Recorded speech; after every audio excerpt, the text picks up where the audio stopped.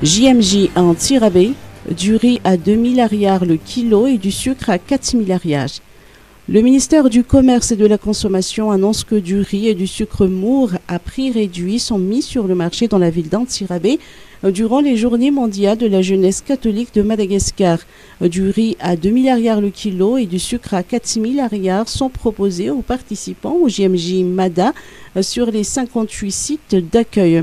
Cette disposition répond à la hausse de la consommation engendrée par l'affluence des visiteurs, indique le ministère euh, du Commerce et de la Consommation qui collabore avec la société State Procurement of Madagascar SPM dans cette démarche. La ville d'eau accueillera plus de 30 000 pèlerins et des milliers d'autres chrétiens à cette occasion.